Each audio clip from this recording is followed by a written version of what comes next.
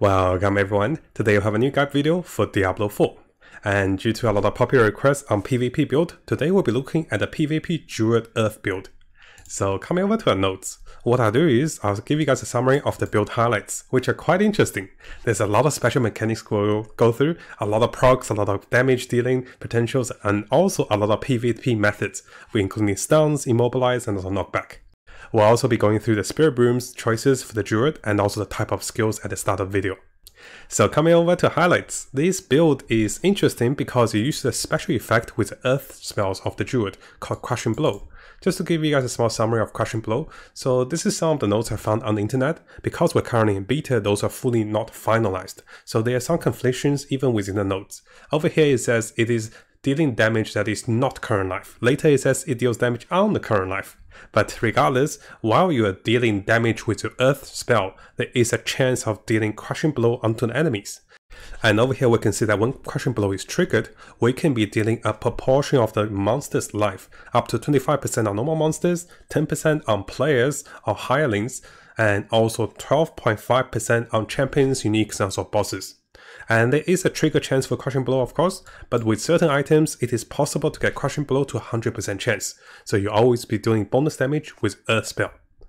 Now currently we're not sure exactly of the all the list of items, but it is likely going to be legendaries and also affix and also rare items that can provide us with more crushing blow chances and also more multiplier to this particular theme of the druid.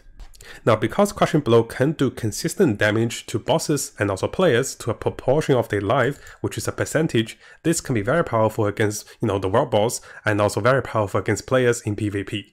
Now, because our build is going to be Earth Druid, our Druid will be having a lot of method to gain resource, and you'll see there is also lucky chance to hit for instantly restoration of all of your resource. Our build will also focus on stunning enemies and also immobilizing them. So there's a lot of way to stun enemies with earth spells, and also we deal tremendous boost of damage when enemies are stunned. Our build is also very durable with barriers, fortify, and also unstoppable. On top of that, when enemies are stunned, you can be dealing overpower damage to them with earth spells. And also, you deal bonus damage with overpower because you have high life and also high fortified life. Our build also have a really high critical rate chance and also with the capstone perks of the earth spells, we can get 100% guaranteed critical hits with a 5 to 25% chance of the trigger rate. We'll go through this with you guys, and likely we can always get about 15 to 20% trigger chance with this particular trigger. And this means more critical hits and also more full of energy, because when this triggers, we get maximum energy. And finally, of course, the build is ideal for PvP if you want to try the Druid in PvP. So the build will turn you into a moving turret. You have lots of stuns, lots of AoEs, and also lots of great life percentage damage. And enemy will be knocked back or also be immobilized by your spells. So there's a lot of control, lots of damage, and you're also very durable. Now quickly going through the type of skills we'll be using. Most of the spells will be earth spells. So the first one will be the basic earth spike. These have a multiple chance of triggering earth spells as you land stuns and also immobilize, which is quite nice as we go through the skill tree. The next one we have for the core skill is going to be landslide. Followed by that we have earthen bulwark, which will be the essential defensive spells we have and also fortifiers. As for the companion, we can go with a Vine Creeper. This allows us to have increased critical chance against enemies who are rooted and who are immobilized, and this can also be good for the PvP. As for the Wrath spell, we'll go with Boulder. This also have a chance of knocking back enemies, which is gonna be great in PvP, and also give us bonus damage when enemies are knocked back. As for the ultimate, this one is a little interesting. We could go with lightning spell or could go with earth spell. And because we want to focus a bit on PvP, having a massive AoE control for Petrify is going to be very good. You also deal bonus damage to enemies who are petrified. Our capstone is going to be Earthen Might, and for this particular capstone, there is a lot of proc rate, a lot of fun with instant restoration of spirit, and also you know 100% critical chance as you trigger those effects. Now coming over to the skill tree, what we'll do is we'll go through the spirit boon first with the choices of animals. So one of the reasons I'm picking a snake as the two effect choices of animals to bond is for the obsidian slam. The Obsidian Slam allows Earth spells to have a 15% chance to stun enemies, and while enemies are stunned, then we also can deal overpower damage, which means bonus damage from life and also fortified health. And although this doesn't affect bosses, when bosses are stunned you can't do overpower damage, the chance of stun is really nice.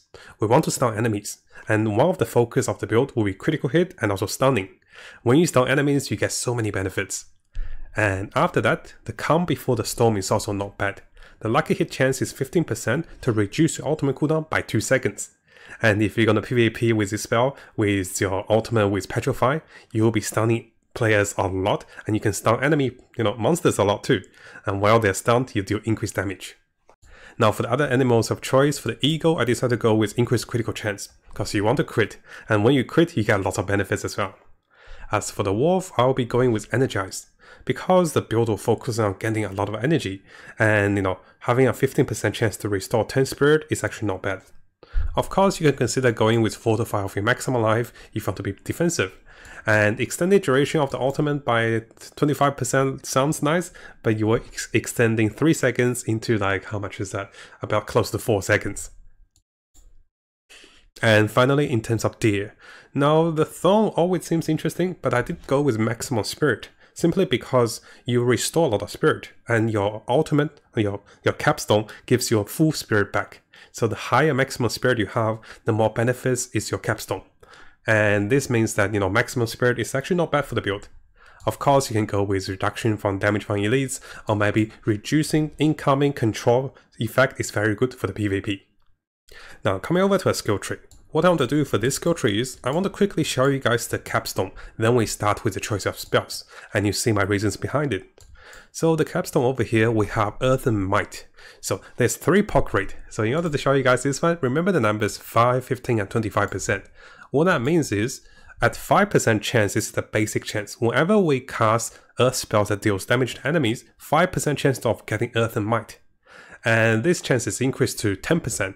Actually, this means it's increased 10%, not 15%. I actually did this a little different. So this chance is increased to 10% when we critical strike hits, and a further 10% when target is stunned or knocked back. So that means this is also a little mistake. So it's 5, 10, 20%.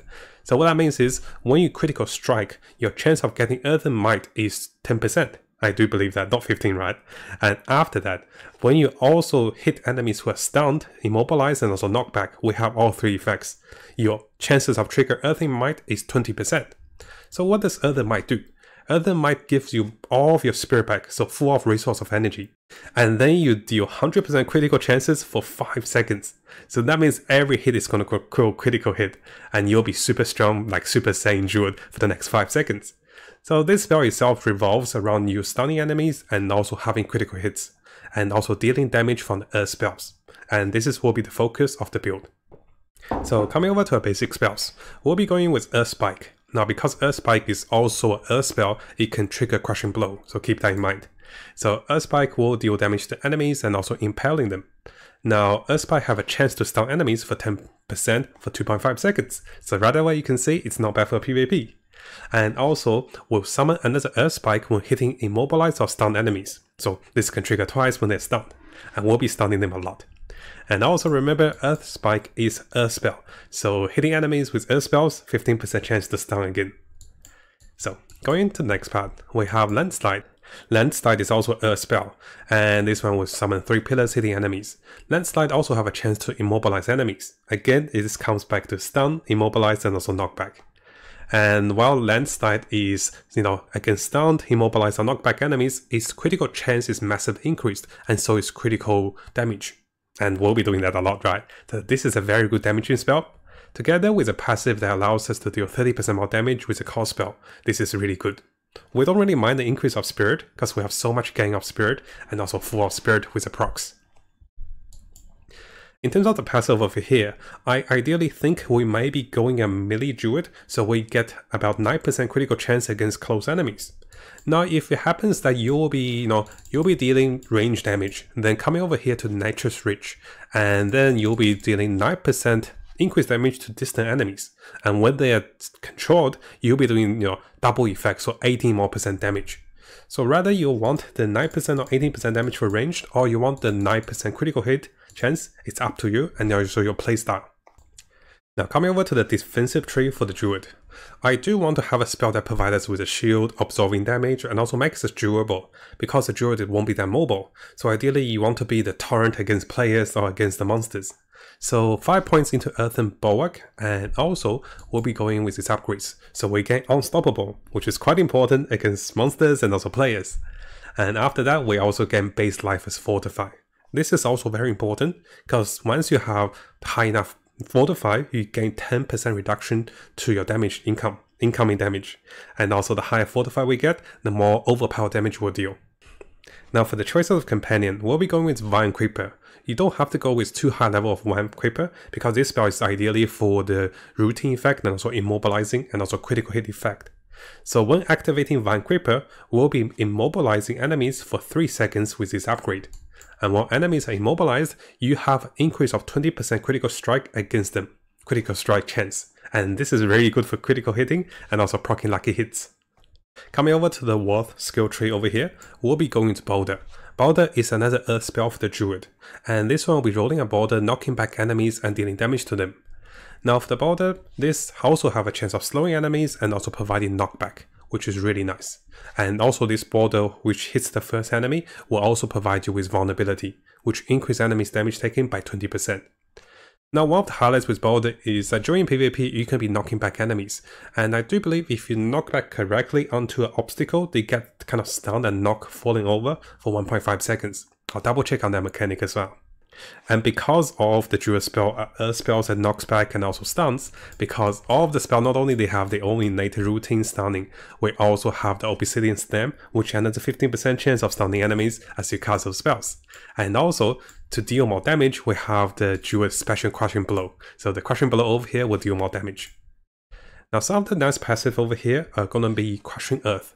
So Earth spells will do another 15% damage to all the enemies you have controlled. And you have so many control, right? And also Stone Guard. While fortified for 50% of your maximum life, your Earth spells will deal 12% more damage. Now do keep in mind, you have to be fortified for 50% of your maximum life. If this happens frequently, then pick this perk. If this doesn't happen a lot, you don't have to pick this, you can go elsewhere. And finally, we can go with Safeguard. Critical Strike hit with Earth spells will fortify you for 0.88% base life. You'll be hitting a lot of critical strikes.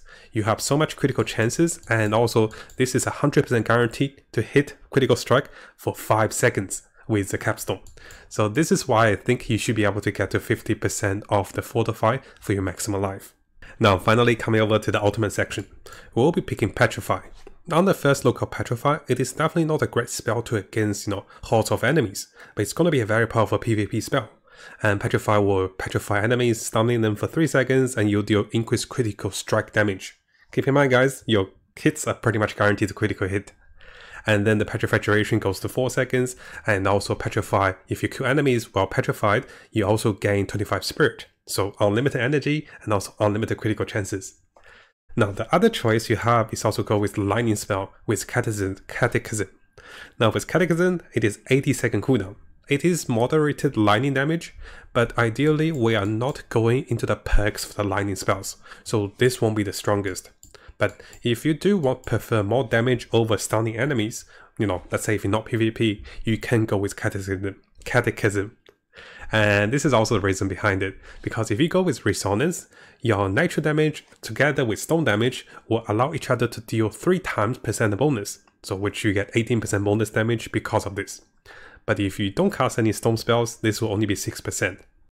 Now we also have some really nice Nitro perks over here, so the Nitro spell deals 12% damage to elites, and also Earth spells will deal you know 12% more damage to vulnerable enemies. And over here, we also have the natural magic spells that consume spirit will restore our life. So this will be a form of healing. Now over here, we also have some defensive perks, which allows you to have higher fortify. And also when you are attacked or hit by enemies, 15% chance to fortify for more life. Now there is something I want to mention over here as well for this particular passive, Unrestrained. So if you're going for PvP, you definitely probably don't need the spell for Resonant. North you can come over to Unrestrained. This means you have a massive reduction to crowd control effects, and also this is even better when you're fortified. And triple effect means you minus 27% of crowd control. Together with this, and also with this particular perk over here, so you get as a 15% reduction to crowd control. This is going to be really good. And if you do find yourself getting crowd controlled a lot, you can also go into the thick hide. So what that means is we can take away a little bit of the other spells. Let's say if you're not doing that much with the spirits, you can come over here. So this is going to be ideal for the branch for PvP. Over here is more damage and also more regen for the PvE. Now we have talked about the capstone section, so we don't have to go over this again. We talk about this at the start of the skill tree. So coming over to a codex. So codex of power, a lot of choices. And because you want to be defensive, you can be picking a lot of the barrier choices and also you know more barrier choices if you want to be defensive. Now I did forget to mention the defensive perk for Aspect of Mending Stone. Because we're using Earthen Bulwark and also this spell will be a defensive spell, increasing this spell by 6 seconds and also killing enemy with Earth spell replenishes the active Earthen Bulwark barriers is going to be very good. So make sure you guys look into these defensive aspects while using this particular spell. And as for our fins, the two things is we'll be knocking our enemies, stunning them. So what you want to pick is going to be aspect of plumbing and aspect of retribution for 30% increase and also 40% increase up to 70% damage increase against enemies. And you also stun distant enemies. So this is really good for PvP as well. Now some of the other notable choices is going to be Crushing Stone. Earth spell deals 40% more critical damage to crowd control enemies. Well, everybody's going to get crowd control by you, right? So this is good. I did pick this one as well, so aspect of retaliation. Because we have a lot of fortify, and you fortify yourself when you critical hit, your core skill will also deal 20% more damage based on the percentage of fortify. So, not bad. And over here I did have a click typo with overcharge aspect, we don't need this, because we don't deal lightning damage for now. Now the Shepherd's aspect allows our core spell to deal additional damage for each active companion. It's not really massive, we only have like one or two active companions, so this is not a big deal too, if you don't have the codex. As for resonance, we definitely want to gain more resource with crowd controlling enemies, but if you find yourself with a lot of spirit, you don't have to pick this as well. And over here, and there's a typo, so I'll show you guys the final one later. And of course, the highlight is gonna be one of a utility spell.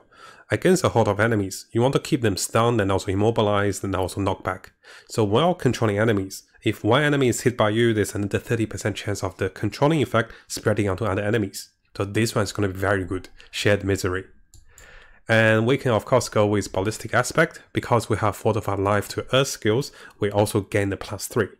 I'm not sure if this is plus 3 to skills or plus 3 to Fortified Life. We'll find out soon but we don't have the location right. Location won't be available in beta. This is the Druidic location slogan, slogan, I can't pronounce.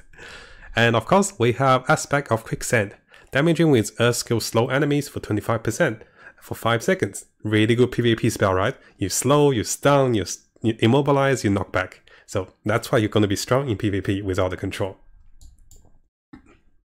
And finally, for some mobility, you can see that our mobility won't be very high, so 8% movement speed increase won't be too bad, and ultimately will be a moving torrent, so mobility is okay, cause you'll be critical hitting a lot of time. Now hopefully you guys enjoy this hybrid of a PvP and also PvE build. I do think this is one of the powerful Druid build that combines everything. A little unfortunate, I was not able to combine the final part, which I kinda want to have some of the lightning spells in the free as well. So I want to have some lightning spells, lightning damage for the boost of natural damage. But we obviously don't have enough skill points for now. But maybe when we have legendaries and also, you know, special items with skill points bonus, we can perk into lightning damage, and this can allow us to deal bonus damage to earth damage as well. Now before you go, and if you guys didn't know, we have a new YouTube channel. So I just started a YouTube channel with my girlfriend yesterday, and you can see this is only 12 hours old, this YouTube channel. And if you guys haven't subscribed, make sure you subscribe and check out the behind the scenes and also fun clips and also more stories about us. And then you get to know me a little more personally instead of just reading the news and also the games, right? So I want to share a little bit more with you guys. So make sure you check this channel out if you're interested about Matt and also Yunie. She's really funny too, and she's really shy. So I want to give her a surprise and do a shout out for the new channel to get some subscribers. Thank you guys. I'll see you guys next time.